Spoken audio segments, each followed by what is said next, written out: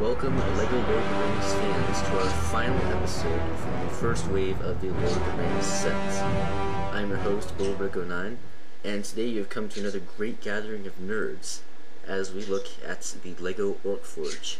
Yeah, I'm sorry, it's not the Tower of Orthanc, not yet, but as always, I am busily constructing it. So let's go ahead and take a look at this awesome set. Alright, here is the Orc Forge. Unfortunately, I've not saved the best for last, but it's still a pretty cool set, and it's really good for what it is. So, um, here are some specifics. It sets it's set uh, 9476. The recommended ages are 8 to 14, but no one cares about that. Contains 363 pieces and retails for $39.99. So we're a little high for price per piece, but we do get some awesome pieces in here. Most notably a light brick, and it is in a new color. So that's probably the main reason why it's a little more expensive. And you get a few other rare and uh, large pieces. But of course we'll be taking a look at all that. Um, so this is the only set in the first wave of Lord of the Rings sets, and I think in total so far, where there are no good guys. This is the only set that is all bad guys. You get four bad guys, which are two orcs, an Uruk-hai, and Lurtz. You can't see right now. There he is. So, um, some people won't really like that, um, but uh, it is a nice way to increase your stock of bad guys, and to get a pretty cool set. So, um, you get one instruction manual. So, as for numbered bags, oh, the reason to have all this is because it includes a light brick, and they have it in tons of different languages there. So you get one, two, three numbered bags, and you can see which you, what you build in each bag here. There we go. So bag one, you build this area. Bag two, you build this, and the bottom part of this. And bag three is probably my favorite because you build the chute, the uh, little podium here, and of course this, which is the best looking part of the set. And of course you get the orange brick separator, as you can see here. So, um, just thumb through here a little bit. Fairly fun build, nothing too exciting, but of course the minifigure checklist and the screaming kid. So let's go ahead and take a look at the minifigures. We'll start with the most boring minifigure, which is a Mordor Orc. Now, at the time this came out, this was the only set that you could get Mordor Orcs in, but of course now we can get them in Battle at the Black Gate, Attack of the Wargs, Pirate Ship Ambush, and I think, oh, uh, Tower of Orthanc you can get one. So they're pretty common nowadays. But still, you can never have enough orcs because, um, well, there's uh, a few, well, there's about uh, 10,000, I, I believe, well, 10,000 Uruk-hai at the uh, Battle of Helm's Deep, and I believe about 100,000 orcs at the Battle of Pelennor Fields. And then, of course, a bunch more at the Battle of the Black Gate, so we're probably looking at around 200,000 or so. If you know how many orcs there were in total, or a rough estimate, please tell us in the comments. So we get the uh, standard face for the orc, which doesn't really look complete without the hairpiece. And some back printing on the head there. He comes with a shovel. We'll see why he needs that shovel in a little bit. Fairly nice printing on the torso there. He's got some toothy looking stuff out protruding out of his uh, garments there and some nice back printing. So the next orc is a little more complete looking because he has this awesome hairpiece, which I believe only comes in this set in Attack of the Wargs at the moment. It's very similar to the one that we see on the Moria orcs, which is this one here. But as you can see, the ears are not green. So it's a very nice looking hairpiece. It's similar to the elvish hairpiece that we see because as we all know orcs are evil elves. And snug on there. Other than that, this orc is exactly the same as the other one, except that he does come with this hammer. And we'll see why he uses that in just a little bit here. Next we have our White Hand of Saruman Uruk-hai. And as you can see, he's different from the ones that we see in Uruk-hai Army and the Battle of Helm's Deep because his armor has the White Hand of Saruman printed on here. So that makes him a much nicer Uruk-hai. Uh, kind of wish we got that in all of our Uruk-hai, but um, it just makes another reason why you want to get this set. So, uh, just on the shields and the helmet do we see this, you don't see it on the armor. And you get a few extras, which I will show you. And of course, we can now get this armored Tower of Orthanc as well. But not quite as much as we see in here. Here's the helmet. Of course, that is printed on there. That, that is not a sticker. There are no stickers in this set. And we get the double-sided face.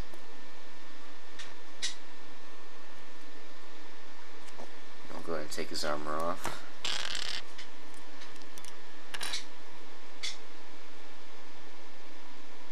So some fairly nice printing. It's the same that we see in those two aforementioned sets. And he also comes with his Uruk sword. And we do get a few more of those swords later on in the set. Put his armor back on here. Nice. And this. Okay. Our final minifigure is Lurtz. He's probably the best minifigure in the set. Um, comes with this nice hairpiece, same as we see on Lucius Malfoy and Gandalf the Grey in different colors, of course. And there's the rest of him. Now he does have a double-sided face.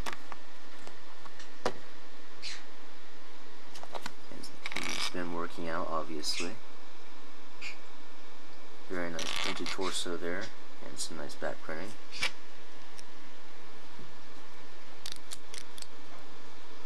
So overall, a very nice minifigure, and you can dress him up in some armor and with some weapons, and we'll show that in a little bit. So we'll be back in just a moment with the set. Alright, so here's the rest of the set. So as you can see, it's fairly large. Yes, that is the Tower of Orthanc over in the corner there. So I'll go ahead and show you some of the mini builds first. First of all, you do get some extra armor here. You get the uh, chest piece, the extra helmet, and the extra shield, so you can dress up Lurtz. And we will do that in just a few minutes. You get this anvil, and the armor fits nice and snug on there. So this guy can hammer away at it. And the final mini build that we get is this little I want to call it the smelting pit. I'm not positive. That is the correct term. So you can tell me if I'm wrong in the comments.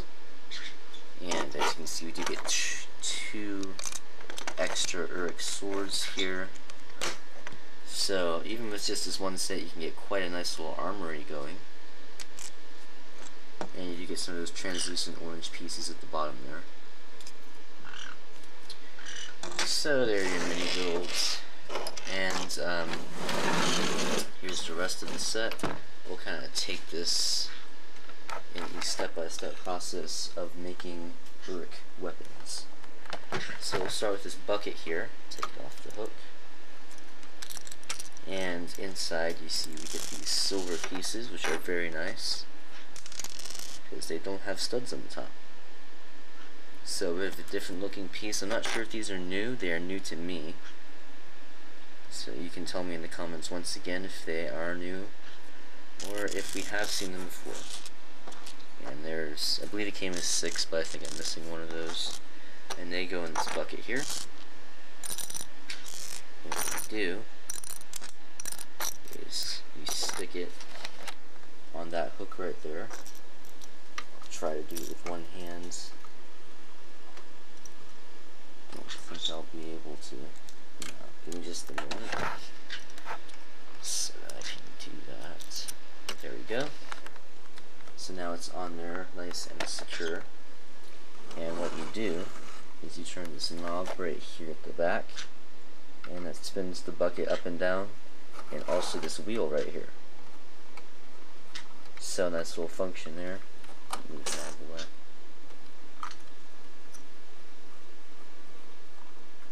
And this uh, little windmill piece is supported by two large Technic beams. Those are all one piece. And then this smaller gray one right here. So, nice little function there. And then what you'll do is you'll take the bucket off of the hook if you can. There you go. And move it up here. Now let me pause in our process for a moment here. That is a printed brick, which is very nice.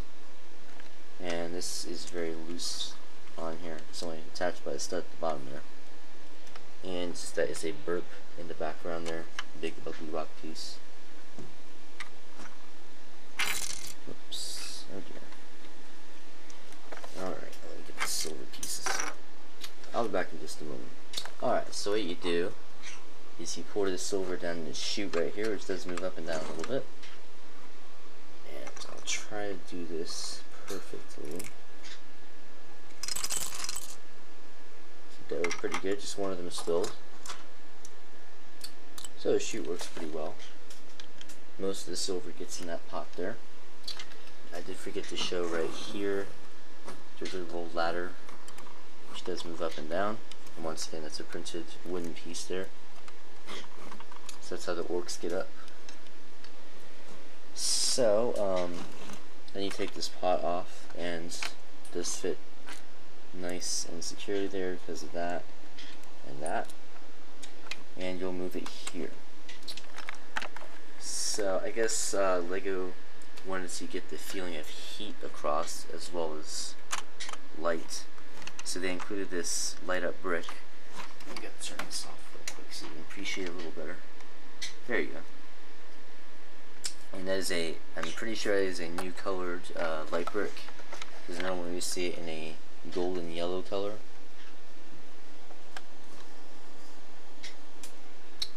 And you get the fire pieces in there as well. And it does kind of shoot out a little laser there. See this gap right here? I want to destroy the camera lens. So, okay. So this is a very nice little addition that I like very much. Oh, and the way you achieve that is by pressing this knob right here.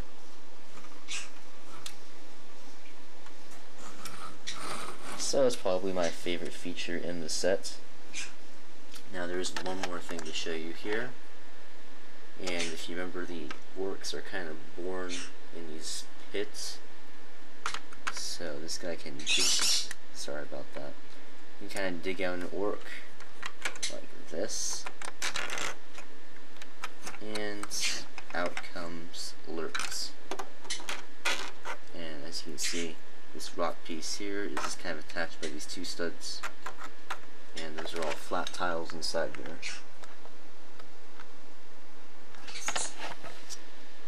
And you can fit him nice and easily back in there.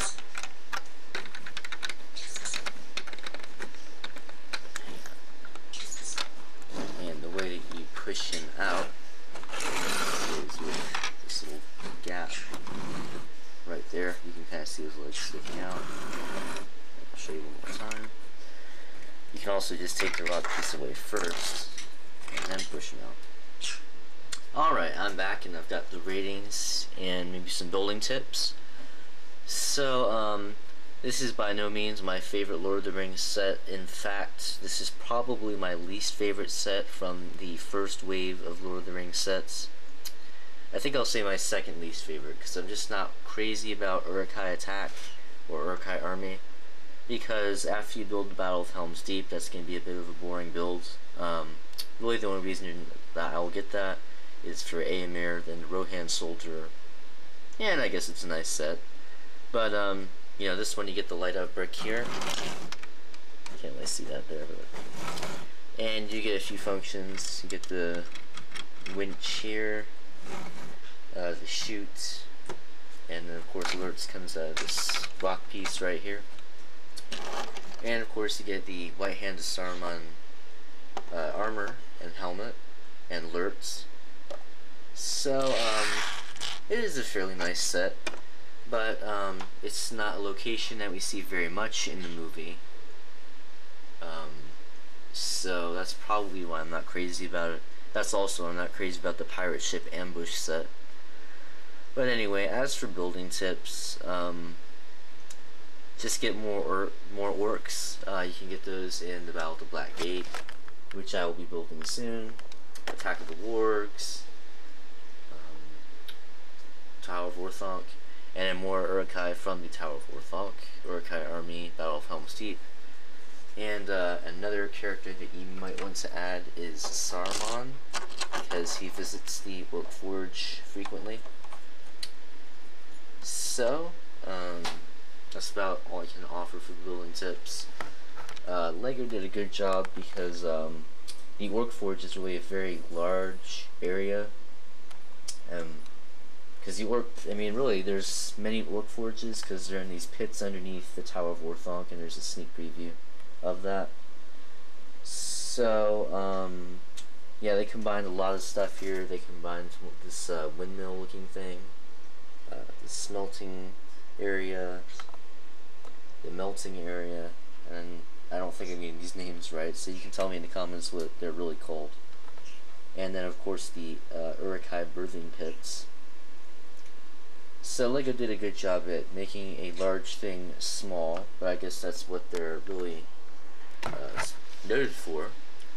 But um, they did an exceptionally good job in this set. And so, I mean, there's really no reason not to like this, other than the fact that there are better, more interesting sets that depict scenes that are longer, uh, more interesting, and more important to the overall storyline. So if you have, I believe this retailed for, yes, $40. If you have $40, I would recommend uh, getting Shelob Attacks, Gandalf Arrives, The Wizard Battle, getting like three or four smaller sets, or something like Attack of the Wargs, which is just ten dollars more. Fleeing from Mirkwood Spiders, Escaping the Barrels, I believe was forty dollars, forty or fifty. I'm pretty sure Escaping the Barrels was forty. So, if you're gonna go between the Orc Forge and Escaping the Barrels, I would definitely recommend Escaping the Barrels over this one, unless you just love orcs and you love this scene. So as for the ratings, um, the builds, you do get some interesting pieces. You do get this light up brick, and who doesn't like those? And I believe that isn't a new color. Um, you get the nice pot here. You get those new silver pieces. Once again, tell me if those are new or not. I'm not really sure. You get the nice bucket here. The printed wooden pieces, like this one here. You get two of those. The large Technic beams in the back there. The burp. Uh, these little I don't know, they look like scaffolding or something. And of course all the armor, shovel, hammer. And so for the build I will give it a 7. Um, other than the light up brick, none of those are really, wow, that's a great piece. Because we see, well, I guess these are pretty cool. But you do see those in the Tower of Orthanc as well. So I'll go for a 7 for the build. For the playability, there aren't too many action features. You get the winch, the chute, the light up brick, and the uh, birthing pit rock piece thing. So I think I'll stick with a 7 for the playability and brick film value. And finally for displayability, um, this goes good with the Tower of Orthanc because they're both in the same area but it'd be great if someone could figure out a way to put this lower than the Tower of Orthanc, Because as I mentioned before, these are deep in the ground in large pits. So that would be a real neat display. But by itself, um, yeah, I'll stick with the 7. So 7 across the board for build, play, and display. So, as I said, it's not a set that I'm uh, crazy about. They're definitely much more interesting Lord of the Rings sets, but it's still a nice way to increase your Orc and Uruk-hai army, get some cool armor, and make a fairly nice set. And I believe, yeah, these, this comes apart pretty easy here, if you would want to do that. And that's really the only area that easily comes apart. So, this has been another Bilbo Brick 09 review. Uh, as it stands now, as far as the Middle Earth sets go, I've done all the Hobbit reviews. And for Lord of the Rings, I just have to do the Tower of Orthanc and the Pirate Ship Ambush. It'll probably be a while before I get to the Pirate Ship Ambush because uh, I just spent, well, $200 on the Tower of Orthanc. And I believe that is a much better set than the Pirate Ship Ambush. So don't look for that anytime soon. But the Tower of Orthanc, um, hopefully in a few weeks or so, um, it may be on there now, so check and make, check and uh, see because it's gonna be an awesome review. And we're gonna have our friends Andrew19, Andrew30, and Feyenoord the Second come on there and guest star once again to offer their helpful insight. So, and in the meantime, check out other Lord of the Rings and Hobbit sets and some of my awesome stop motions. So, thanks for tuning in. Happy building, and here's